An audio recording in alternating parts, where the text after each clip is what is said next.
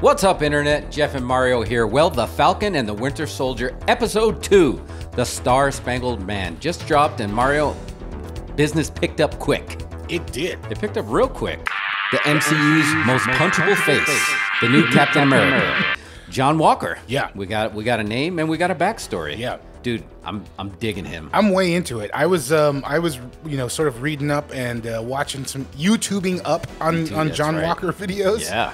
Uh, he's an interesting character. I'm really, I'm excited to see where they take it. One thing I loved about this one, though, right off the bat, was the um, the MCU logo they ran. How they, whenever they run it with a different music track. I love that stuff. Oh, You know, yes, they ran they it with, did, They yes. ran it with the band music going oh over. yes, they did. I love it when they do that. Yeah, you're absolutely right. It felt a little. and that- I think I didn't realize that at first, but I feel because it just like that whole going back to his high school, of just like going back to where you like you really started to find out the man behind the mug. Right. The more that famous mug that is like, how famous of a mug do you have to have when it's mostly obscured by a mask? Right. And people are like, oh, that son of a, your smug chin. I see some sadness behind those eyes. I, I think there's more of a story that's coming from John Walker. Definitely. I feel I- a heel turn. I don't know if it's going to be a full heel turn. Uh, yeah, I guess um, the the whole John Walker character in the comics was sort of back and forth. No, Yeah, he was. You know, because I know eventually becomes U.S. agent, and I don't know if they were going to do it, but it was good. Um, it's funny. We got pretty much nothing of this character in the trailers. No. um, and we can see why. I think he, he's one. He's a major focal point of the story. a huge focal point because it's just like, look, yeah, when the when the action did start and the first big fight scene they had, he was in it. That that really did surprise me because it feel like it did felt like uh, it.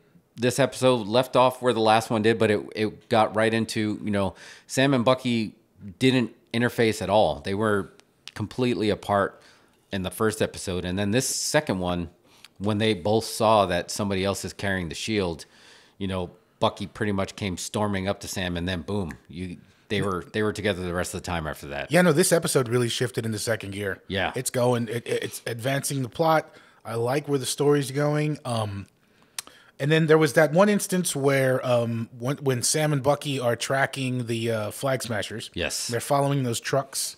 There was an instance where um, he gets inside the truck and they find a bunch of vaccines.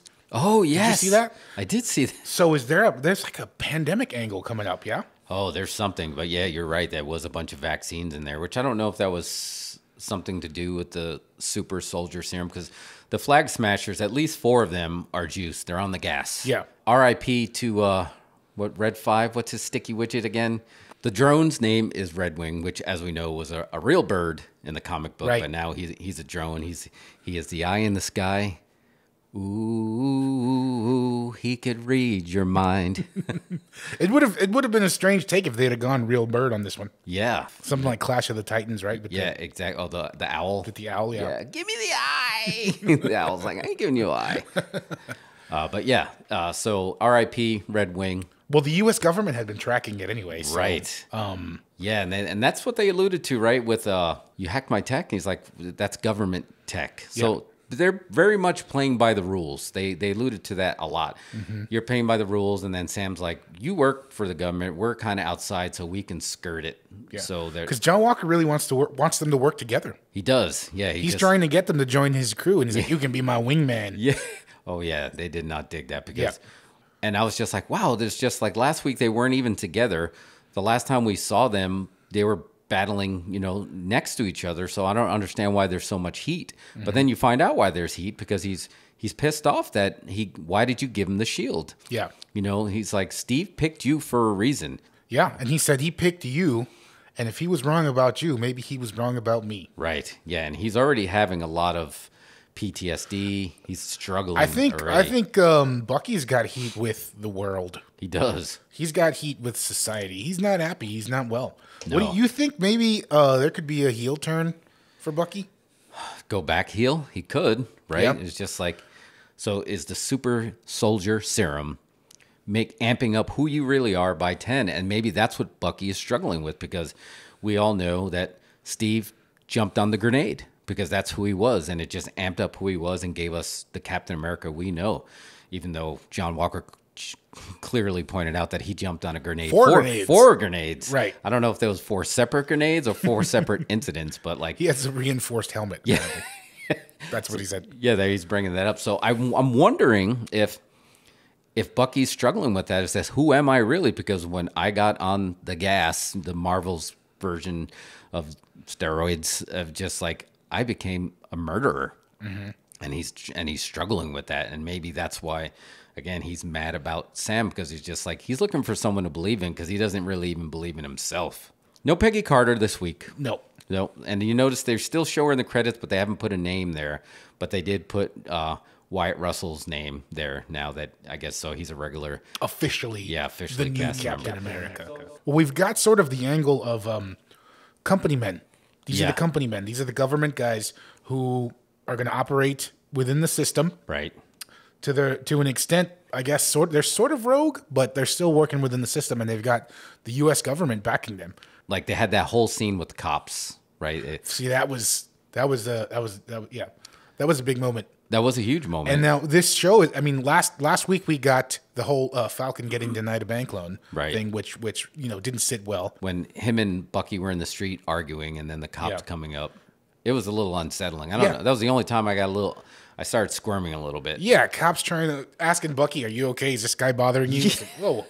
Yeah, because as soon as he recognized who he was, you know, he's oh, I, I apologize, and we've seen that happen, right? We've seen that happen uh, with an NFL star recently. You know, it's just like basically the cops came to his house and he was having the issue, and they went after him. Yeah. and it's just like so. It's very, it was very fitting, and then they turned the tables on Bucky too, and then they're like, "Whoa, uh, you missed your patrol. You're under arrest." Right. It made me squirm a little bit, but Right. that's when we learned about Isaiah, who was one of the old soldiers, which sounds like he beat Sam. I mean, beat Bucky in a fight. Yeah. Well, again, I, I YouTubed a little bit about Isaiah Bradley. Do you know about this character? No, I don't. So he was another super soldier who actually took on the identity of Captain America for a little while. Really? Yeah, but like he did it sort of um again he went rogue and sort of stole the stole the mask, stole the identity and then after that he was yeah, he went to jail for doing that. Wow, I did not know that. He was definitely hiding. He didn't Yeah. want to know he was there.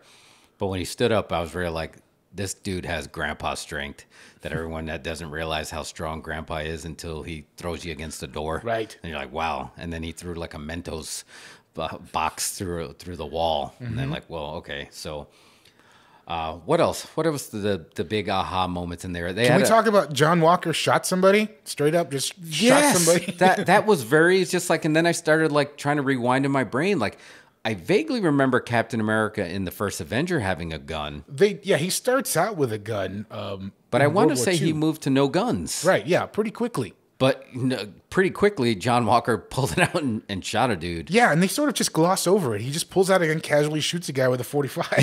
and it's never mentioned again. Yeah, I I was yeah I was very taken back by that because Yeah. it's just like he came on the scene, started throwing the shield, doing his thing, but yeah, then he just shot. Yeah. So John Walker will will shoot you. Yes. So He there's that. And I do know a little bit about the backstory and the character uh, that it's going to start getting to his head and he's going to start going a little bit, he's going to get a little rougher. He's going to be Battlestar and New Captain America might be good cop, bad cop, and he might go very bad cop. He might even go Robert Z'Dar maniac cop. I don't know. He might like beat the crap out of someone. Yeah. But again, he's not on the sauce yet. Right. When he gets on the sauce, is that going to change? Because again, it's just going to enhance who you are. Do you think uh, Sam is going to get on the sauce? He, I mean, it occurs to me every time he does something, he has no powers and he's completely vulnerable. Yeah. Other than the fact that he can, you know, fly, use maybe use the wings as a shield or something. But Yeah. aside from that, he's pretty susceptible to a lot of stuff. He is. Yeah, like He's got no healing. He's got no super strength, no super speed. no, and he brought it. He's the one that brought it up, right? He, we're always fighting android, aliens, or wizards, Right. You know, and it's just like, and he's just got the wings, and you got an arm, kind of thing. So it's going to be tempting. That's just like if you become Captain America, do you do you take this? And now, obviously, he's an honorable guy, so I don't think it would go bad. There's a scene in the trailers where we show he's getting some sort of new briefcase. Right. That looks a lot like the briefcase from Iron Man 2 that Tony has when he pulls the suit Yes. the, the suit the briefcase suit out, the briefcase Iron Man suit. Right. So I think maybe that could be his advantage if he decides not to take the super soldier serum. Which I'm not sure he's going to take it. I think he might be proud and realize just I don't I don't need it. But if he has an Iron Man level suit, He won't need it. that would work Right. out. That would balance things out. I was wondering how they were going to in- introduce Zemo, and it looks like they're going to introduce him the Hannibal Lecter route, Right. right? So I don't know if they're going to walk through the basement, and they're going to go visit him, and multiple personality Miggs is going to do something disgusting. but it looks like they're going with, with the the Lecter route. They basically are So- turning to him because they don't have answers. Right. They need what they need his help. Yeah. Um, again, they're operating outside the system, right? You know, John Walker and uh, I keep wanting to call him Kaboom. It's Battlestar. not Kaboom. Battlestar. Battlestar.